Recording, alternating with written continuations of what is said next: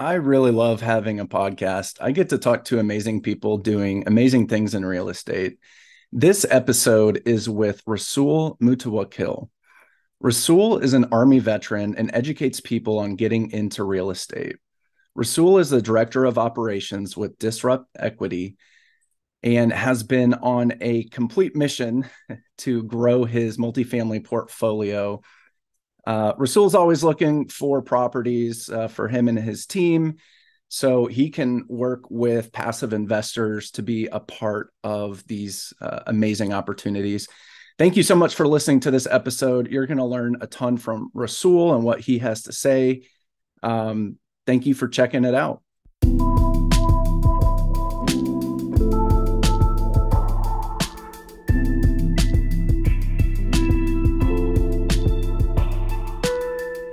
Welcome to Passive Investors Playbook. I'm your host, Charlie Hardage.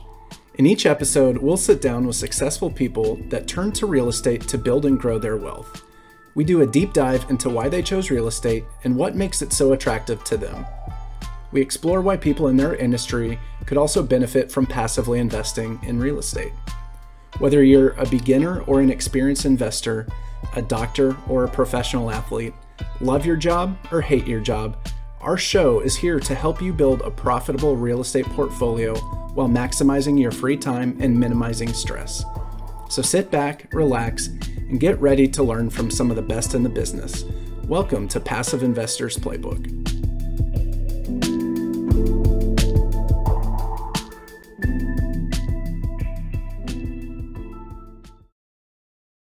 Thank you so much for tuning in today to Passive Investors Playbook. My name is Charlie Hardage and I am joined by a Army veteran, Rasool Mutawakkil. Uh, Rasool specializes in financial analysis and underwriting to determine an investment's potential. As a U.S. Army veteran, intelligence operative, his attention to detail, work ethic, and desire to serve others with pertinent information are his primary drivers. Rasool has a bachelor's degree in computer programming and is certified with numerous financial licenses in the state of Florida. He was an owner operator of a multiple six figure Airbnb business in Miami and currently has grown his multifamily investment portfolio by over $100 million in the past year. Pretty insane. As a husband, father, and ambitious entrepreneur, Rasool's long term goals include establishing generational wealth for his family, as well as the continuous development of his education platform to show others how they too can reach any financial goal faster than they ever thought possible. Rasool, I, I love that intro. I did not write that. Uh, I, I love the intro. Uh, man, I'm, I'm super excited to have you today. Thanks for being here. Awesome. Hey, thanks so much for having me, Charlie. Man, it's a pleasure to be here. Awesome. Um, we, we were talking a little bit uh, before the call about the military and, and your time there. Um, you, uh, I don't know if you still speak Korean, but but you're a Korean um, intelligence agent, or yeah, I was, I was a cryptologic linguist. So basically, uh, me and my whole uh, company, we would spy on North Korea. We were stationed in South Korea, and we had planes that fly along the DMZ intercepting uh, enemy radio communication. And uh, yeah, I would translate it into Korean and then crypto uh, encrypt it into our code, which I'm sure has changed by now. Because I've been out for like almost 20 years. Oh my god, I've been out for almost 20 years. Um, yeah, not to date myself here. Yeah. But uh, but yeah, and then I just send those reports up. I loved it. I was speaking Korean all the time. Right now, uh, since there's not a lot of people I speak to uh, speak Korean with, I lost most of it. But I'm pretty dangerous in a restaurant, so Man, that's awesome. Um, maybe you understood a lot more in Squid Game than most of us, right? I don't know if you saw it, but um... I did. I was telling my wife I was correcting some of the subtitles. Yeah, that's not what they really said. That's hilarious, man. That that that's so cool. Um, I didn't learn a language in in the military, but um, wish, wish I did. I, I know some of the the soldiers in my squad and and company were able to go to language school, and it's like a super quick trial by fire, you know. Um, but you actually got a lot more training than most people yeah. And uh, man, that that's so cool. Jealous there, but um, well, hey man, thank you so much for being here. I uh, let's talk about real estate. As much as I love the the military, the army, and uh, learning languages, um, that's not why I wanted you on today. But um, just perks, right? For sure. Um, man, so I, you know, you're in. Uh, did I read that right? That you have um, let's see, your multifamily investment portfolio. In the last 12 months, you've grown that by over $100 million just in the last 12 months? That's an old bio. Um, I, am probably north of half a billion now. Holy uh, cow! Uh, with assets under management as a general partner in okay. multiple syndications, and yeah, I've I've done a few different partnerships with a few different groups. Currently, my my main go-to squad is Disrupt Equity. I'm the director of acquisitions there, and I basically vet all of the deals that come through. I run the numbers, the analysis, and determine whether or not we actually want to go ahead and submit an offer on that deal. And and we focus on institutional size deals, 30 to 70 million is our sweet spot. Wow. And, and um, obviously this is going to vary, but how many units would that be, Rasool, like at, at each property? Uh, average right now is probably about 175 ish or so. I've got 3,311 total units. That's amazing. Yeah. Uh, 175 is your is uh, probably the average unit count. Um, you know, it's funny because someone someone might hear 175 units or um, heck even 40 units right and think yeah. Uh, yeah that's great for rasool but i could never do that and that that's exactly what i thought you know um, several years ago and what, what's really cool about uh, the bigger the better in my opinion you, you know the bigger the better it's it's not that much more work to double the the uh, property size, right? It's not double the work. Um, and and I think you know the, the syndication space. Uh, there's a lot of different jobs and, and things you can do in that. I know you underwrite the deals and, and do some financial modeling. That's what mm-hmm. I do as well. I love that. So you get to do deep dives in numbers and uh, you know hang out with spreadsheets all day and, and really analyze deals. Um, I, I guess that would kind of go to your computer um, uh, science background. Yeah, actually. So having a background in video game programming makes looking at data and information a lot easier um, because I, I, had to get really good at linear algebra, calculus, uh, applied physics, literally for like like actually just conceptualizing how uh, projectiles would fly through the air and doing the math and showing how that would be if it collided with something else and how the trajectory would change. Like all that type of high level math. When I start looking at financial models, it's like, ah, okay, I'm back in elementary school again.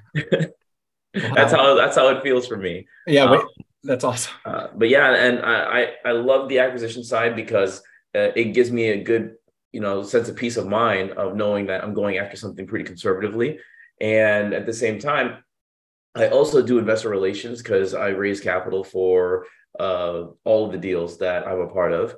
And I love being able to have conversations with investors. Like you said in the very beginning, before I, I even knew about apartment investing and syndications and what any of this stuff was, I, I literally just thought it was like uh, Wall Street hedge funds, yeah. like super rich people who are buying these things. I, I didn't realize that through syndications, everyday investors like you and I, I was a federal employee, right? I, I just, you know, on the GS scale, I made, you know, decent income, but I wasn't like wealthy by any means.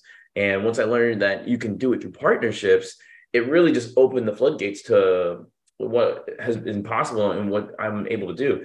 And I don't know if you talked about this at all, but I, I only started in apartment investing in 2020.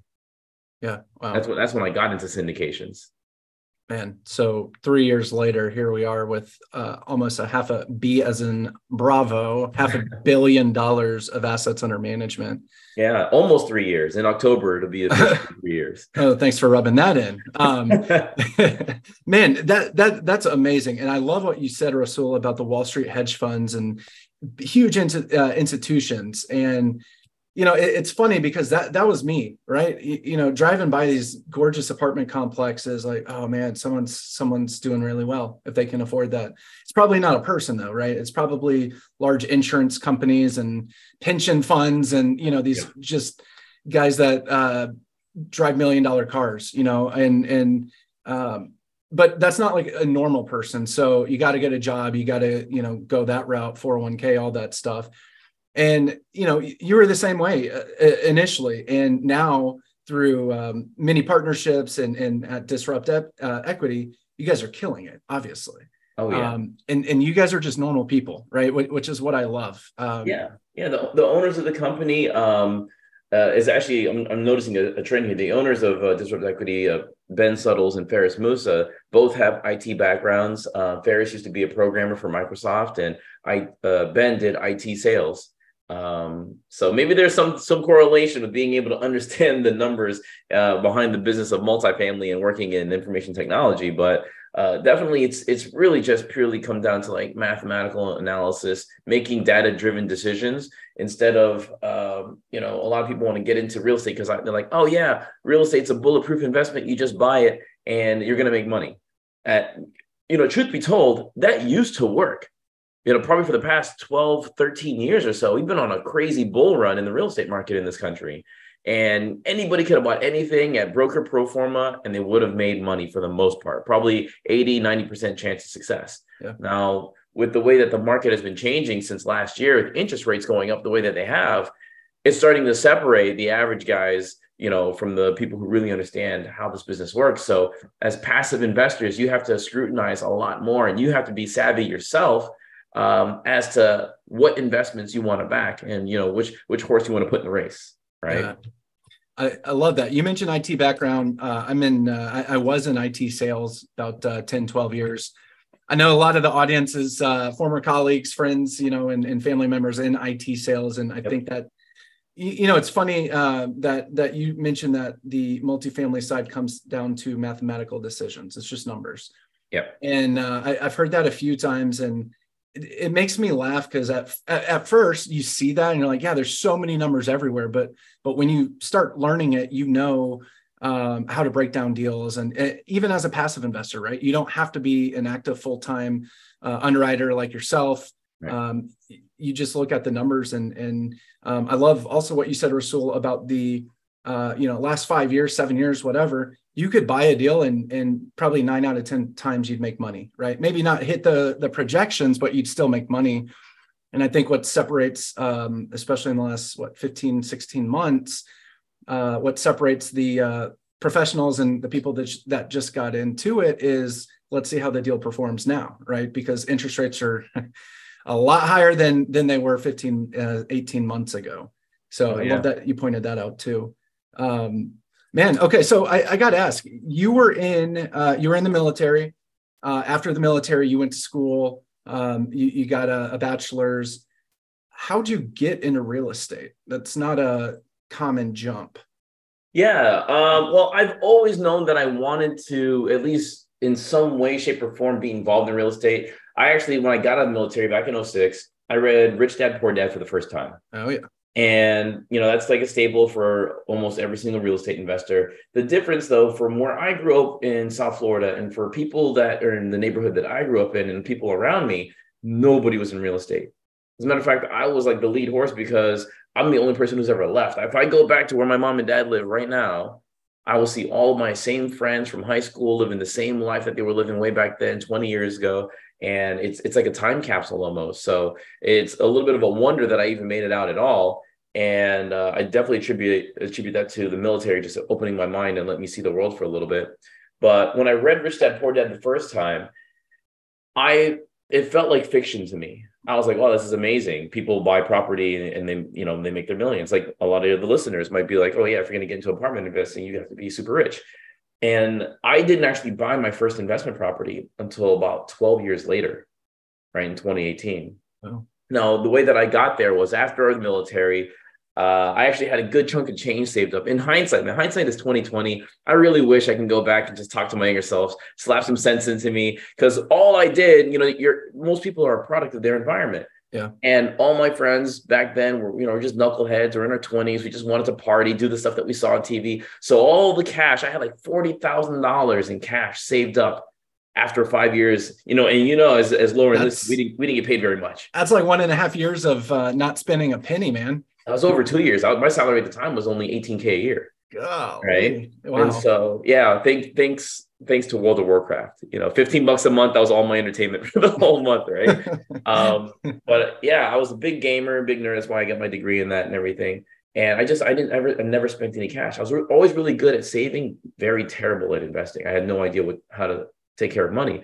So when I got out of the military, I was hanging out with my friends, literally, Charlie, six days a week. I was partying here in Miami, going to clubs, um, going to different bars.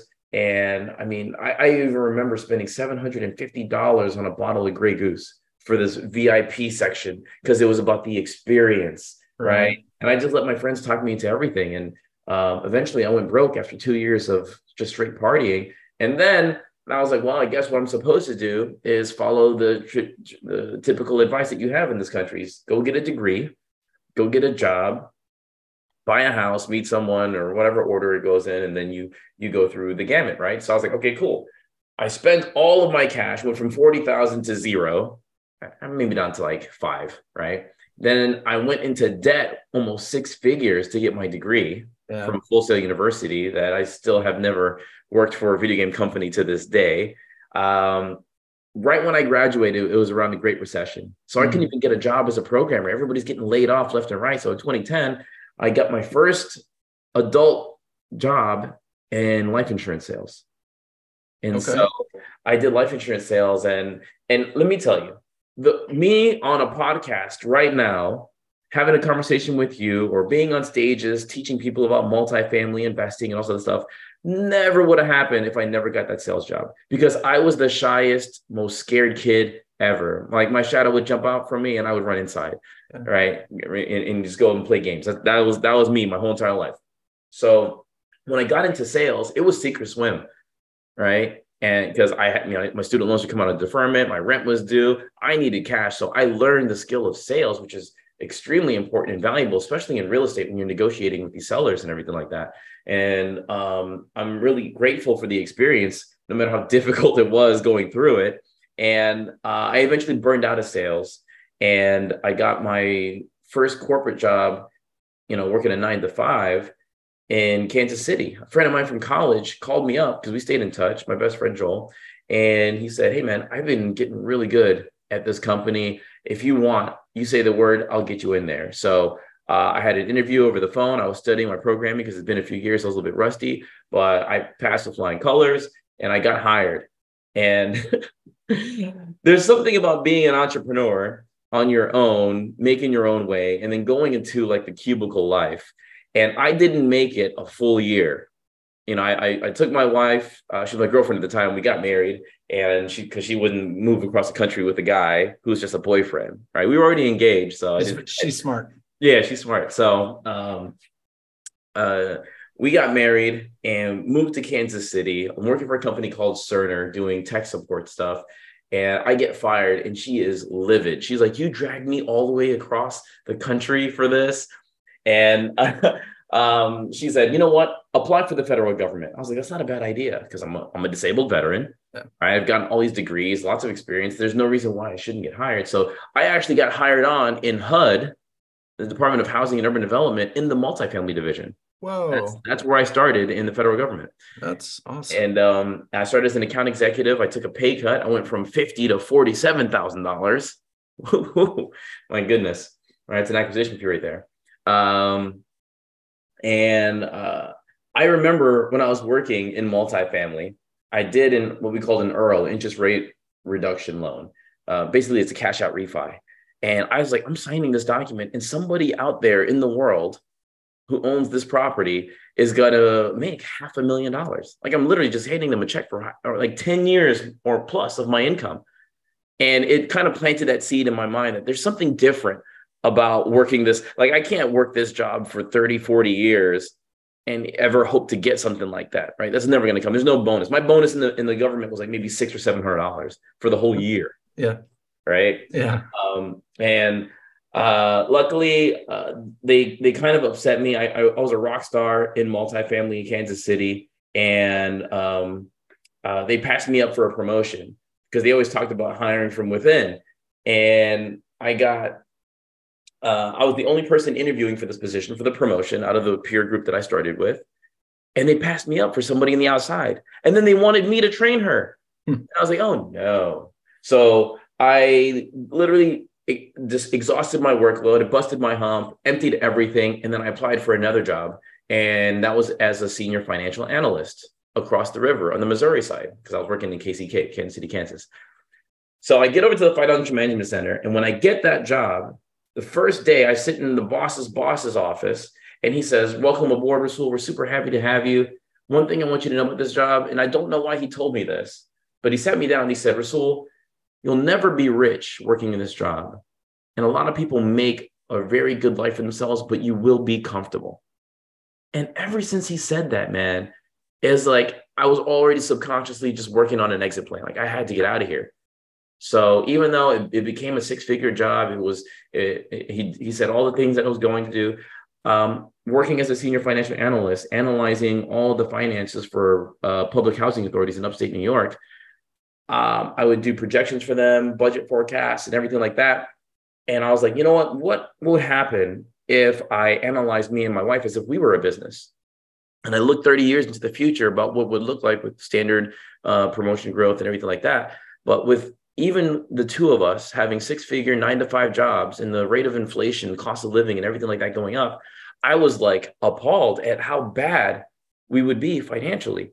Yeah, we'd have maybe a couple million bucks in our retirement, but a couple million bucks in the future, 30 years from now, does not amount to what it sounds like today. And even today, a couple million bucks doesn't really go very far. Right. Right. So that that was the other like nail in the coffin for me. I was like, I talked to my wife, I showed her my findings, and she's like, okay, well, we need to figure something out. We need to do something outside of our jobs because we love our jobs. Our jobs are great. They provide great security, but it's not our exit plan. And so I went, I did what anybody who had half a brain would do at that moment. And I think it was this 2017 at the time. I got on the computer, went to Google and said, How do I get rich? That's literally how it started for me, Charlie. I Googled how to get rich and I, I read an article that said 95% of millionaires are made in real estate. I was like, cool, cool, cool. How do I do real estate, Mr. Google? And I found a forum called Bigger Pockets. Yep. Which a lot of people might be familiar with. I learned about house hacking. So when I moved back to Miami with my wife, my three dogs, we bought a duplex, lived in one side, and rented the other side out. So my mortgage was 2100 bucks I'm paying, uh, and the renter was paying 1900 So it's only costing me $200 a month to live in Miami. And I'm like, they think there's something into this. Then we learned about Airbnb. And then the other side was doing $3,500 a month. And I was like, babe, hear me out. We're going to move back in with my mom and dad in the house that I grew up in. And we're going to do uh, Airbnb on both sides. Charlie, that property was doing $70,000 a year in cash flow. Holy cow. Right? That's top, that's top line revenue, but still, that's absolutely insane. It paid for that house and it paid for this house that I'm in right now. Wow. Right. If I was flying high, doing everything that I that I want to do, I was kind of swamped with time because it was a Airbnb is very time uh times intensive. Time intensive, yes. Yeah. Very time intensive uh for management because there's guests and also and even with third party property management. It was so much to do. And luckily my office in Brickell was like 10 minutes away from where my rental was right? I've already quit my W 2, so I can talk about this stuff now. um, and I was flying high up until 2020 when the pandemic happened. So I owned that Airbnb. I probably made a couple hundred thousand dollars in cash flow wow. um, off of that deal. Plus, buying property in, in Miami and having it appreciate for a couple years, I made another couple hundred thousand dollars there. So when travel stopped and everything, it was it was a double edged sword for me, right? Because the bookings stopped coming in, the, ca- the cash slowed down, but I got all my time back. And when I got that time back in 2020, I was like, okay, let me reassess because there has to be a different way to do real estate. Because I know that there's people out there who have like hundreds, if not thousands of doors of real estate, and I'm drowning with two. And I'm a pretty sharp guy. I'm hardworking. I there, there's something that I'm missing here. So I went on a search, found a boot camp, and learned about um, commercial multifamily investing. As a matter of fact, I didn't even find it. My friend who's independently wealthy called me and said, Hey, Rasool, do this with me because it's going to take me from millionaire status to multi multi millionaire status, and I want you to come with me. All right. I was like, everybody needs a friend like that. I was like, yeah, I'm sold, man, let's go. So I sat there, I devoured all that information, had my mind blown. It's like at that moment when I learned about how syndications worked and I learned about um, commercial real estate investing, all the work history and everything that I had came to play because my technical analysis from my job, my uh, programming skills and ability to understand spreadsheets and code really well from my education, just working in HUD and multifamily, being on the inside track there, working as a senior financial analyst, like all my skills just click, click, click, click, boom. And then I learned how syndications work. So I signed up for a mastermind, a mentorship to actually be walked through the process because uh, at this point I was what, probably 36 years old and 37. And I was like, I don't have any more time to waste. I want to make sure I'm doing this with a pro who's done this before. So I signed up for that mentorship. Once I learned how how um, apartment investing worked, the one thing that they could not teach me, and I and I, have heard this in multiple uh, mentorships, is they couldn't teach me how to analyze a deal. Hmm. right? They just say, "Oh yeah, underwrite it." I was like, "Cool. How do you do that?" So they gave me a model uh, was the Michael Blank model, syndicated deal analyzer. I'm sure a lot of people are familiar with that one. And I was like, okay, how do I use this? And then nobody really understood it to a, a very uh, intricate, in depth level where they could explain it to me. So through trial and error, I beat myself over the head with that spreadsheet. I dived into every single cell and I tore apart that whole entire spreadsheet. And I've mastered it really, really well. And two things happened from there. Number one, I know that thing inside and out. So whenever I look at somebody else's underwriting, I can tell what's real and what's fudged. And then number two, I understood how to underwrite a deal and and basically give my investors a thumbs up or a thumbs down as to whether or not they should place their capital into that deal. So when I when I had all of those pieces, and by the way, this is probably towards the end of 2020 and beginning of 2021, I did my first LP investment into a 76 unit in St. Louis, still paying my 10% um, uh, preferred return on there. Uh, that one's pretty awesome.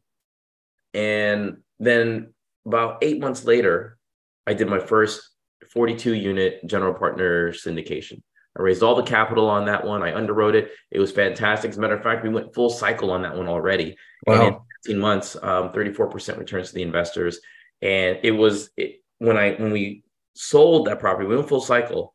It really just solidified everything that I thought because up until that point, it was all conceptual. Really, it was yeah. theory, right? But when these checks started hitting, and when I got the the proceeds from the sale, I was like, I just made my entire annual salary from one deal that I was mostly passive on.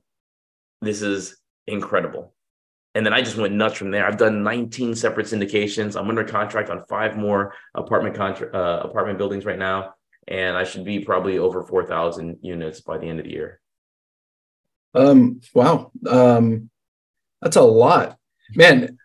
I I, I love this so much. I, I want to start from uh, uh, when you first started talking.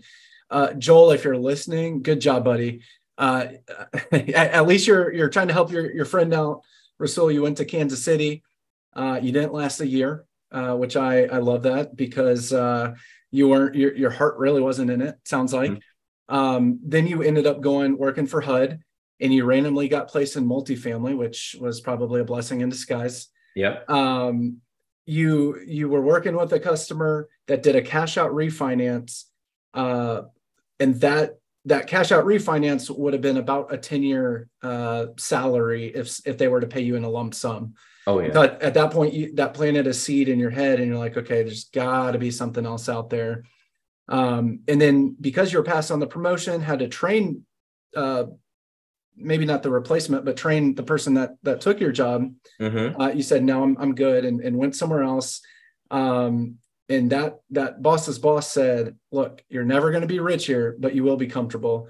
And you're like nope um, i'm going to plan i'm going to start my exit plan. I love that because that means you're thinking ahead yeah. uh, and, and, you're not uh, content with where you're at. Um, 2017 you googled how to get rich. And you know andrew carnegie has that saying uh, back uh, over 100 years ago 90% uh, of millionaires are, are uh, done so through uh, real estate or something like that. Obviously, I butchered that, but um, you know, even though that's hundred years old, that's still so true, right? Oh, yeah. So true, and and probably more true today than it was then, uh, yes. to be honest. Um, and then you said something to your your wife that I always say to my wife, and when I I say these three words, she knows like, oh boy, what's he doing now? And it's hear me out.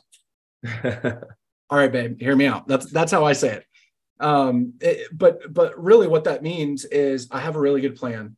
And just just listen to me. It's not as far-fetched as you think. And yep. you got into uh, airbnb uh, did extremely well with that. But that was um, you weren't working for your your money uh, you know you were working for your money right? Exactly. Your money wasn't working for you. Uh, even though there was some appreciation you were working a lot to do that uh, to do short-term rentals. Um, and so when uh, when COVID hit, you sold your your Airbnbs.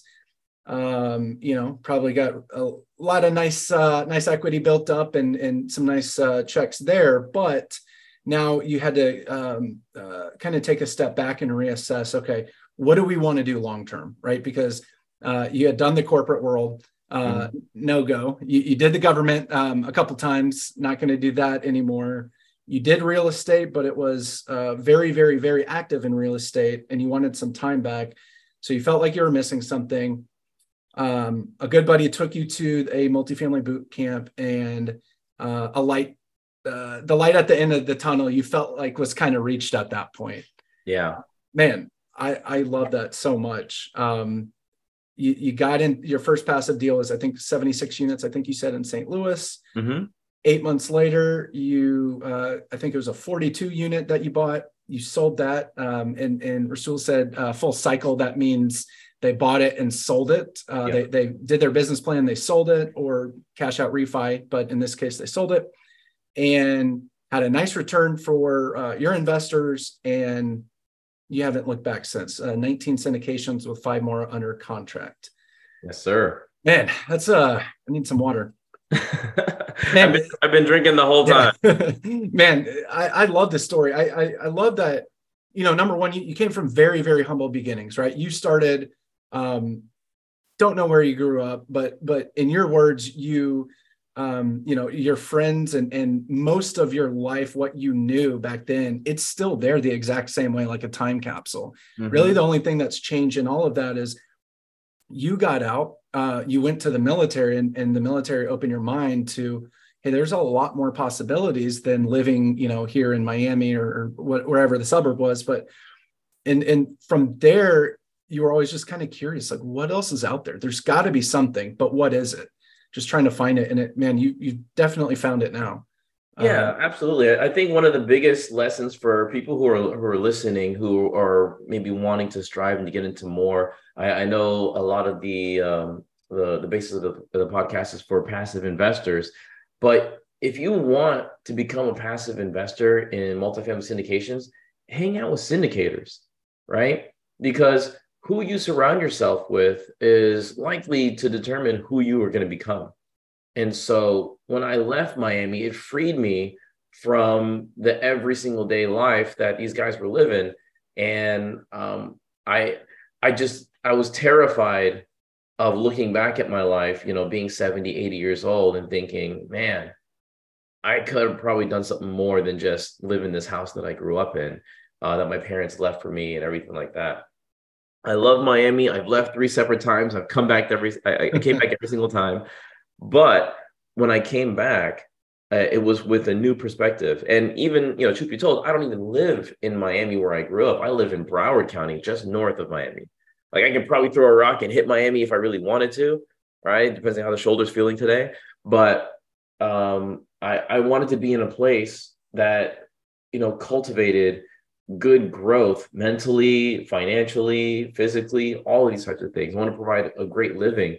Because I, I remember in nights going to sleep and it sounded like fireworks, but it wasn't the it wasn't the new year and it wasn't the uh, Fourth of July, right?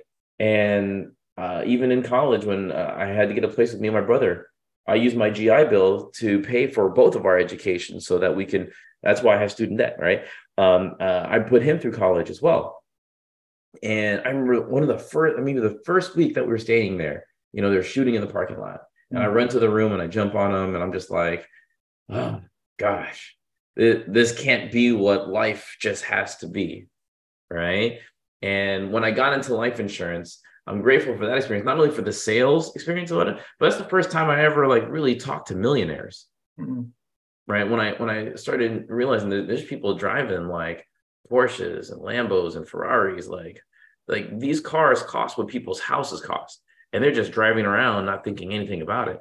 And so there's just certain things you can't unlearn, right? Like in, in those seeds that are planted. So when my boss told me you'll never be rich, I was like, all right, then I guess I'll never be working here full time. Yeah.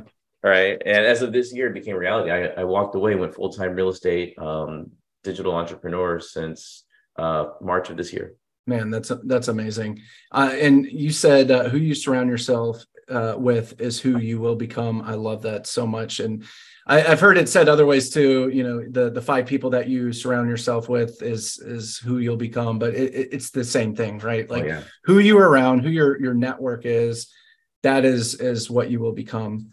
Um, so think about that. Make make a decision. Like who do, who do I want to hang out with, right? Um, and, and I'm sure for you, man, it, it, it can be tough and, and probably was tough at first to kind of leave uh, friends and, and people you used to run around with. But now you, you look back and you're like, I, I can't believe that was me, you know? And I, I do that personally. I, I look back, I'm like, I, I, can't believe I, I spent years, you know, going to bars and stuff like that. Yeah. Uh, and, and thousands of dollars. Right.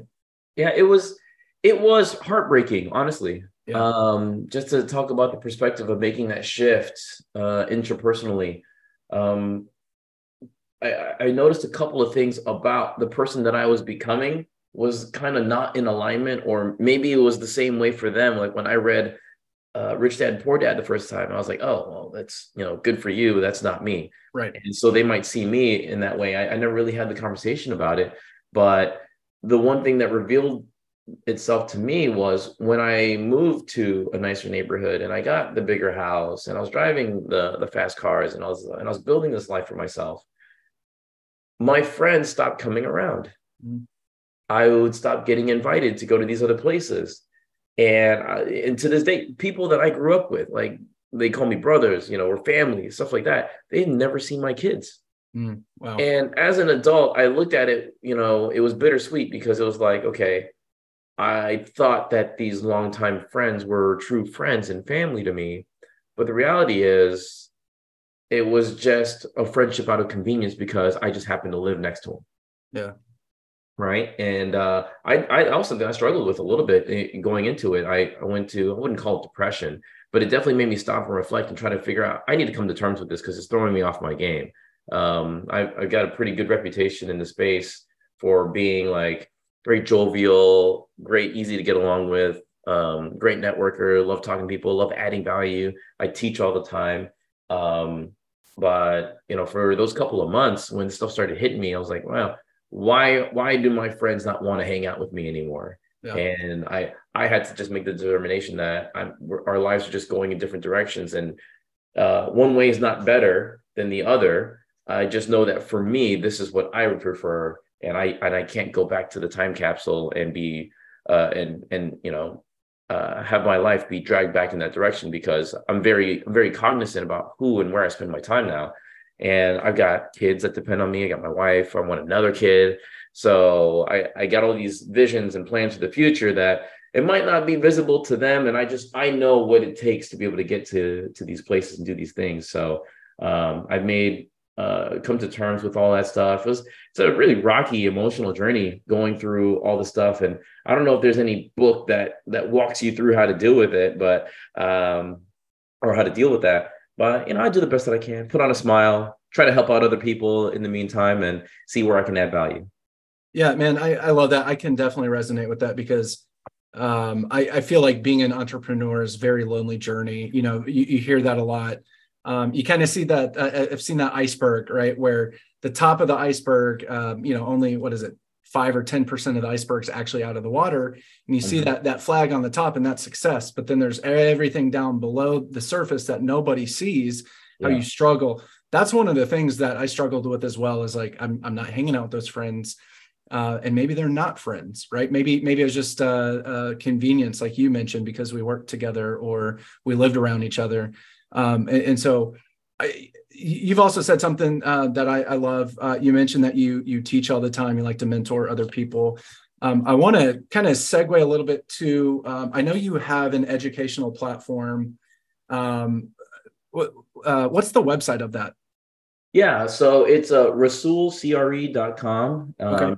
My website is mainly for investors or people who want to learn how to do the business of multifamily syndications. I've got uh, free information for passive investors as well. There's a guide to help you understand if you want to go put your money into a deal, these are some of the things that you want to consider before making that decision, right? And um, I'm also on all social media platforms as Rasool CRE. CRE stands for commercial real estate for uh, people who aren't um, who aren't familiar with the acronym. And yeah, I'm very active on Instagram, Facebook, LinkedIn. Uh, I shut down my my my TikTok account. I got to start it over because I've had it for a really long time. It's just bad with the algorithm right now. But for all intents and purposes, Rasool CRE, you can find me uh, even on YouTube as well. Um, I put some content out there. I'm always just trying to, to, to deliver information about how multifamily investing works, what it's done for me in my life, how it could change your life. And if you're a busy professional and you're like, I would love to get into real estate, I just don't have the time or the or the energy to devote to learning this other skill. That's the that's the beautiful part about being a passive investor is that you can stick to making your money with what you know how to do and then use that cash passively into a syndication with the right team. And you can look up our track record. My portfolio is on my website as well. You can look at disruptequity.com, where I run acquisitions for and what our historic record is over there. I mean, we're, we're absolutely demolishing uh, the industry. I think um, in 2022, uh, yeah, just, just this past year, Inc. 5000 awarded us the fastest growing real estate company in Houston. Wow. So um, we're making pretty good waves there. And you know, I, I met those guys at a networking trip in Costa Rica, which is some a statement I never thought I'd ever say.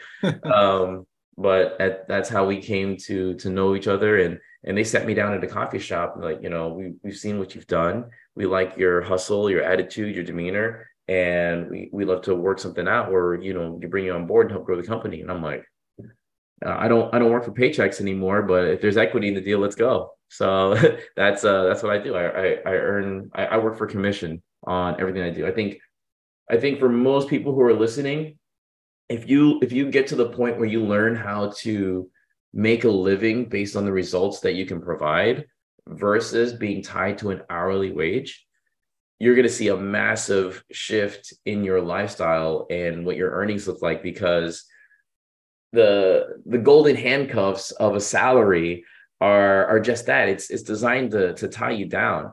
And I, I actually had this thought today when I was doing laundry. I was like, golden handcuffs. Yeah, people are getting paid uh, X amount of dollars per hour, even if it's hundred dollars an hour. And if you get to over forty hours of work in a week, they are willing to pay you time and a half, fifty percent more, because you're getting paid so little on the front end anyway.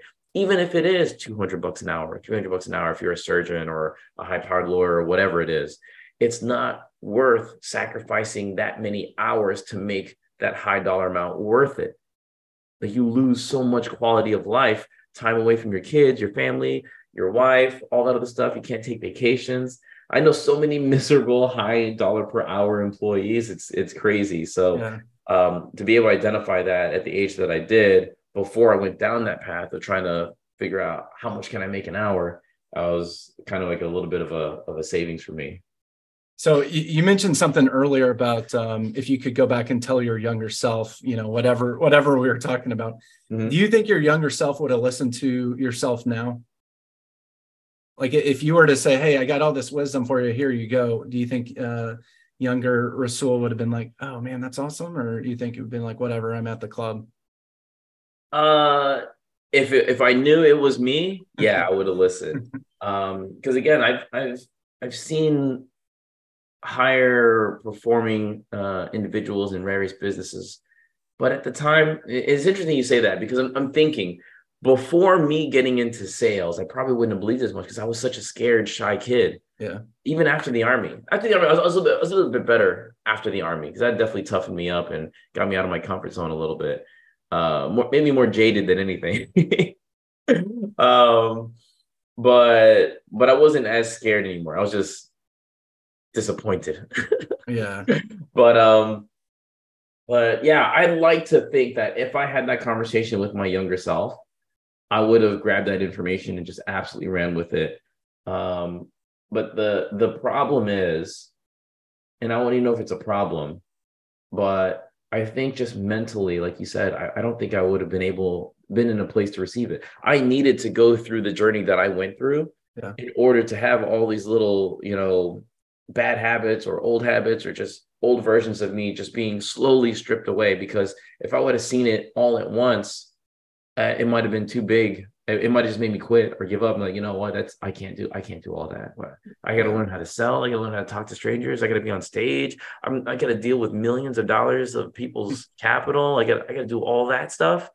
Um, that's a lot for a young 20 some year old kid to to try to imagine. And and I mean, it was hard for me to to to think about owning my own car in the neighborhood I grew up with, right? So yeah, I, I started off 525 at KFC. That was that was that was work. Honestly, yeah. I mean, I still see some people at the Publix that I grew up at. Like Publix is the grocery store out here. Yep, we have um, it here. I know it's based in Florida. We love it here. oh, Nashville. you have it in, in yeah. Tennessee? Wow. Yep. Okay, yeah. how do you go to Tennessee? Get, getting big, getting big.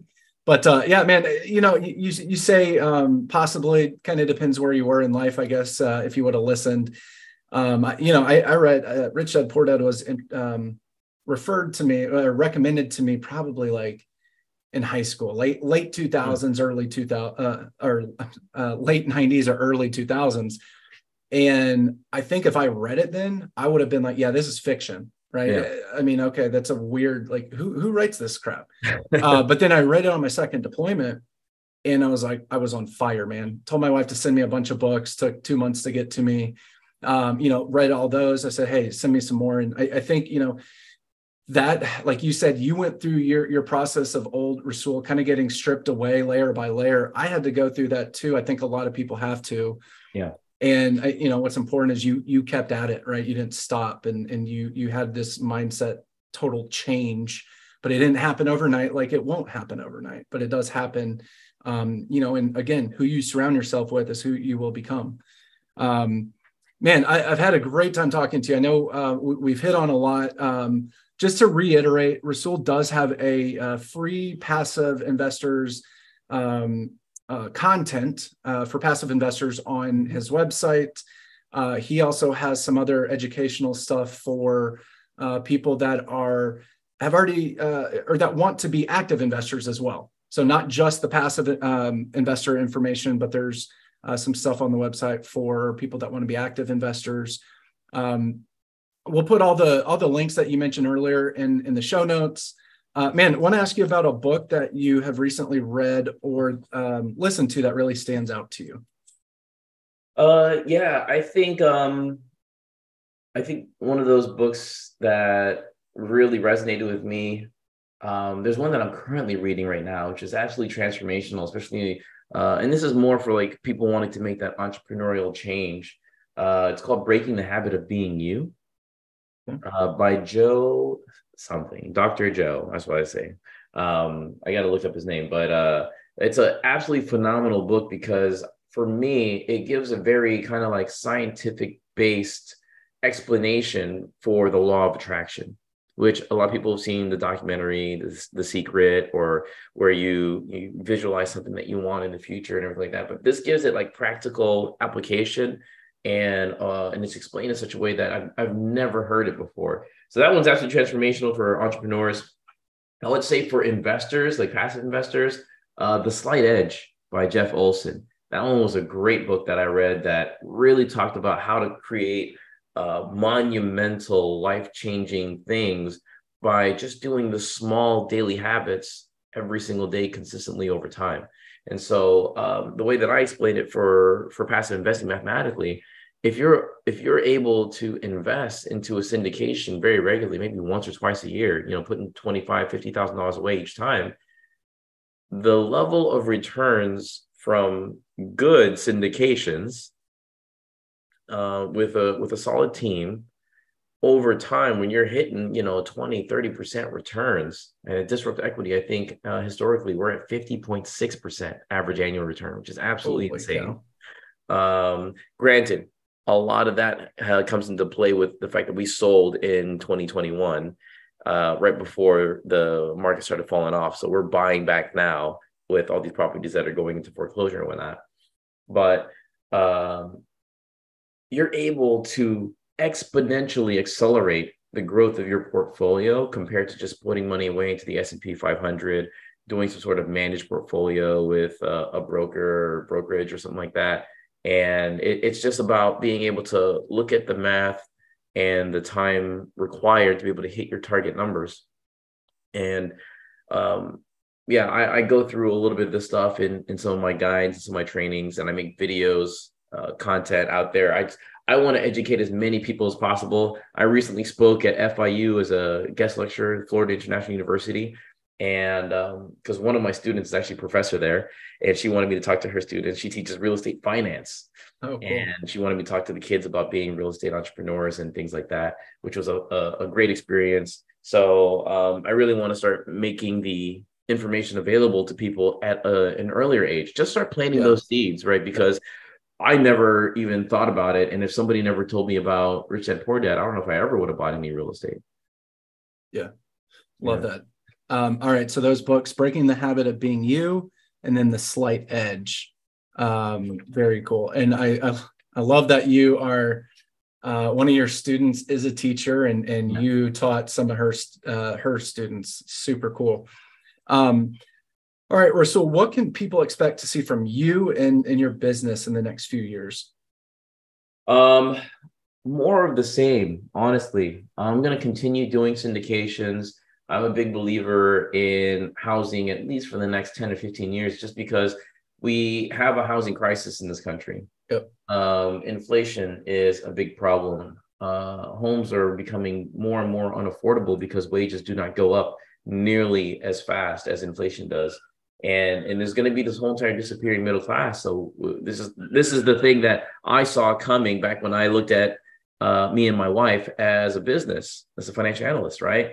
I see it unfolding in real time. And so I, I'm, I'm tying myself and hitching my wagon to multifamily because housing is just one of those, you know, top needs that people, people will let their car get repossessed before they get kicked out of the street. Right. Right. Yeah.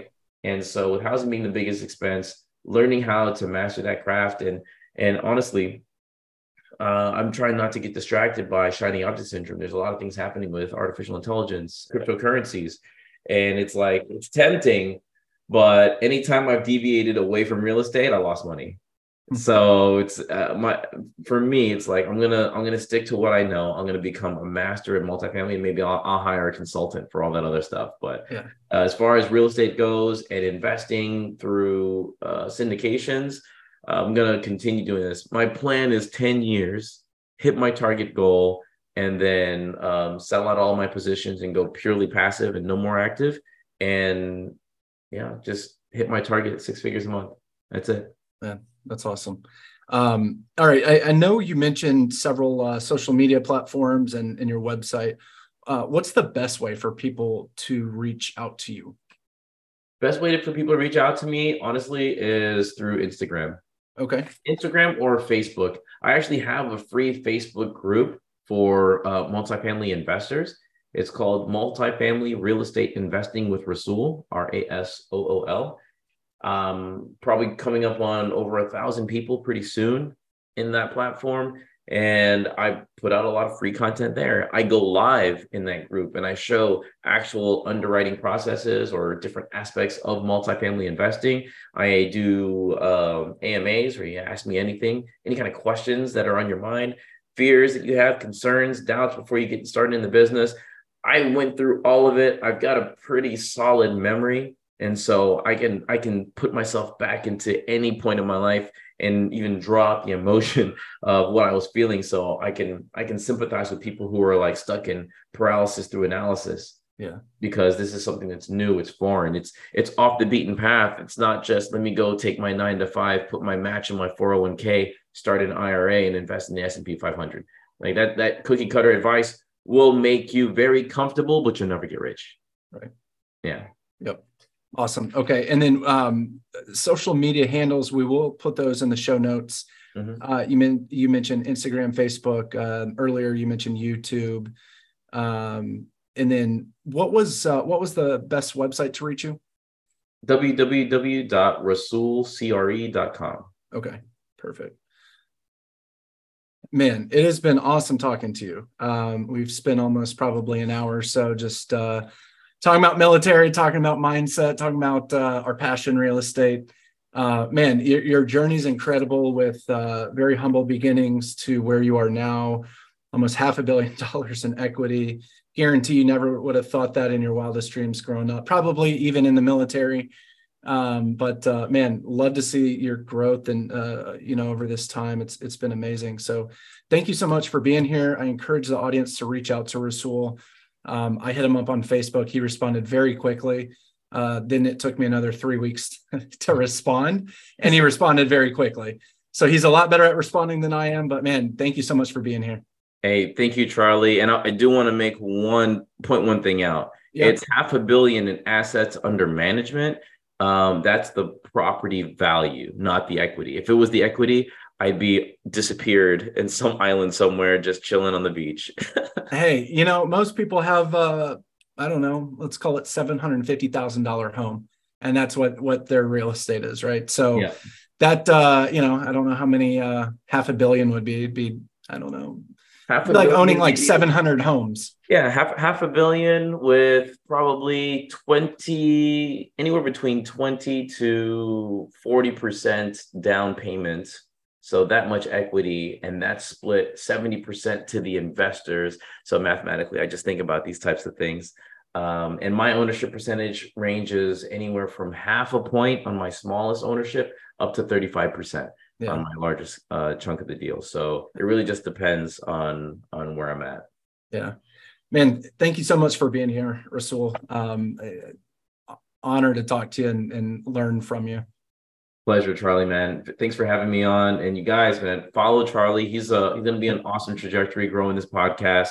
Uh, very honored to be one of the first uh, episodes here. So hopefully it gives you some traction and uh, yeah, guys, if you have any questions whatsoever about passive investing, hit up Charlie, hit me up. I'd love to be able to have a conversation with you guys and explain to you exactly how all this business works so I can clear up any confusion you might have.